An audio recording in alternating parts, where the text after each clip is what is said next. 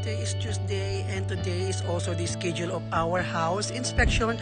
So guys, sobrang excited ako kasi may papakita ko rin sa inyo yung, aming bagong house. So maybe 3 to 4 weeks nilipat na kami. So ngayon, ah, schedule nga po ng house inspection namin. Kaya show ko po sa inyo yung bagong house namin. Tara guys! Tayo!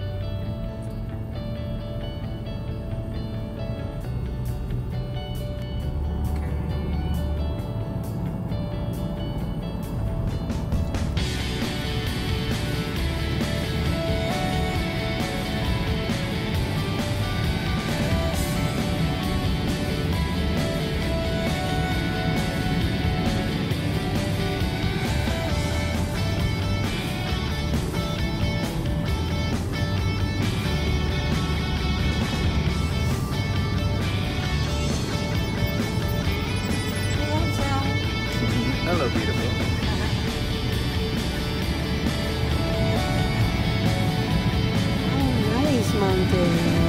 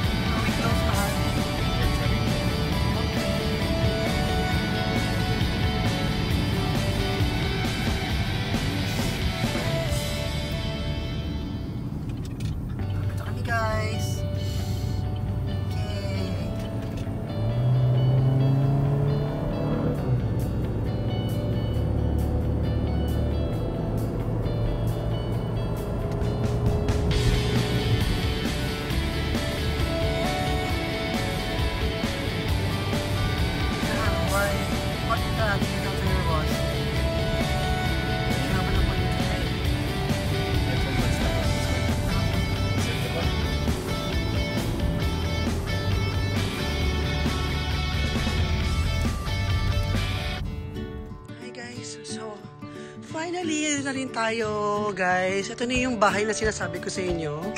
Ayan. Ayan yung magiging bagong bahay namin. So excited, excited ako guys.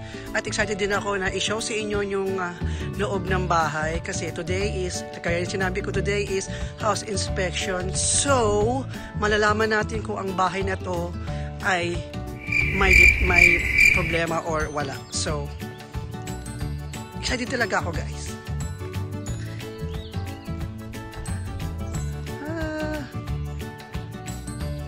Tara guys, pasok tayo.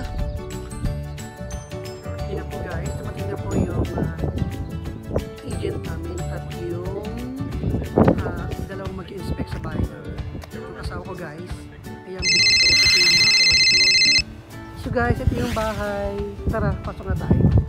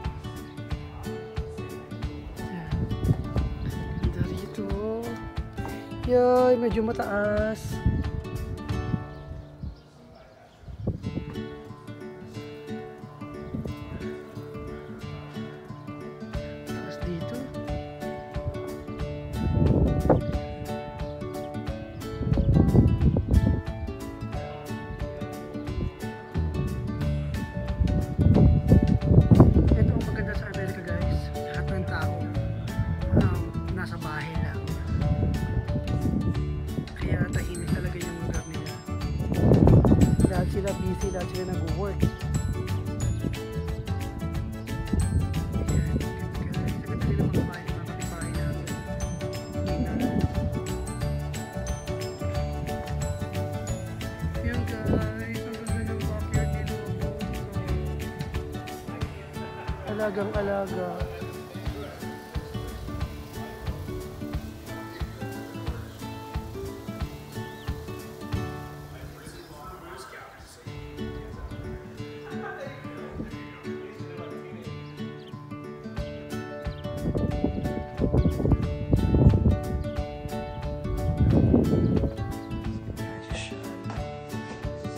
Kaso siya ito yung ah, controller ng ah, centralized na aircon at saka heater.